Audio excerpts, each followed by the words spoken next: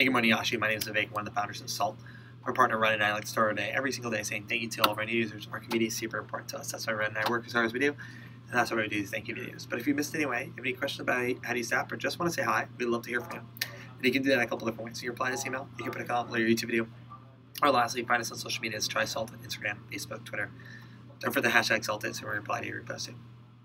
Last thing, if you've been keeping a long list of places in Google Doc, Excel file, or something else. less convenient than Salt, feel free to send us that list of places.